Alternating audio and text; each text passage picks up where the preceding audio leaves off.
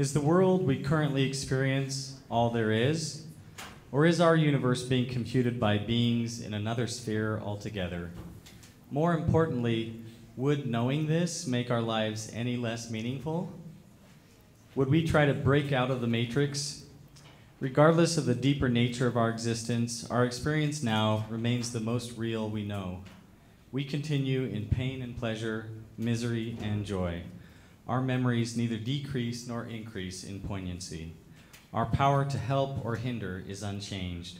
Our relationships matter more than the technical details of the implementation.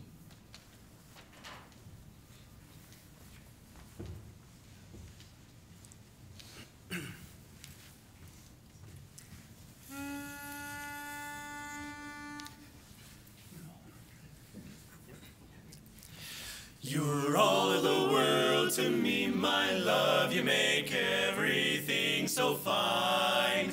Oh, you make my dreams reality, and with you, life is divine, so divine.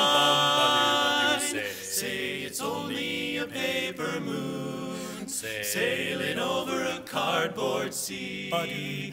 But it wouldn't be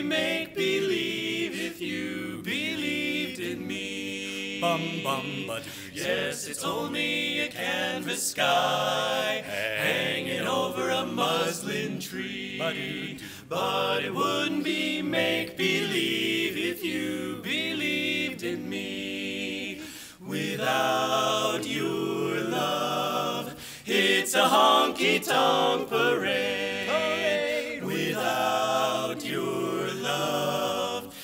It's a melody played in a penny arcade. It's a Barnum and Bailey world, just as phony as it can be. But it wouldn't be make believe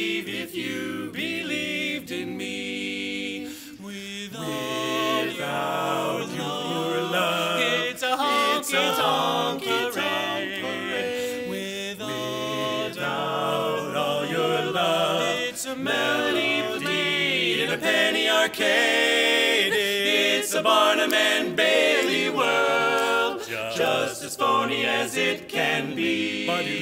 But it wouldn't be make believe